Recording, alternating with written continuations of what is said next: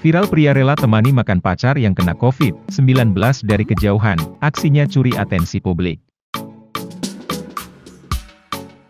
Pandemi COVID-19 hingga kini masih belum berakhir.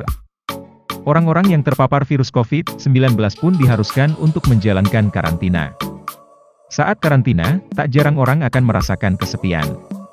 Namun, seorang wanita cukup beruntung karena tetap ditemani oleh sang pacar dengan cara yang unik pada masa karantinanya.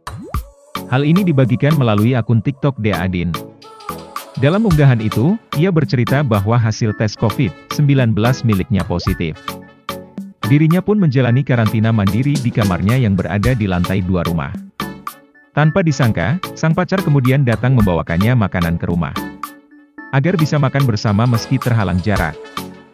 Makanan tersebut kemudian diletakkan di bagian atas rumah dekat dengan kamarnya. Mereka kemudian makan bersama dengan saling melihat satu sama lain meski berjauhan. Pacar wanita ini duduk di pinggir jalan sambil menikmati makanannya. Sesekali pria itu tersenyum melihat wanita ini dari kejauhan. Ternyata bukan hanya makanan berupa rice ball, pacarnya juga membawakan es krim untuk menemaninya. Hal ini benar-benar membuat wanita tersebut berterima kasih pada pacarnya. Video ini kemudian menarik banyak perhatian warganet. Beragam komentar memenuhi unggahan ini.